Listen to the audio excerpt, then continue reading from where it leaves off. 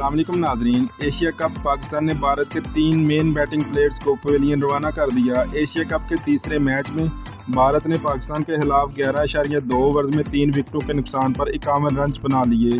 Candy में खेले जा रहे मैच में भारतीय ओपनर रोहित शर्मा ग्यारह, विराट कोहली चार, सुरेश चौदह रन बनाकर आउट हुए।